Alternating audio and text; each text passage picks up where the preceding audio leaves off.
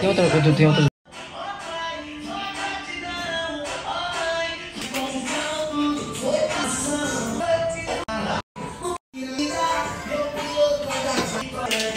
É yeah, boy.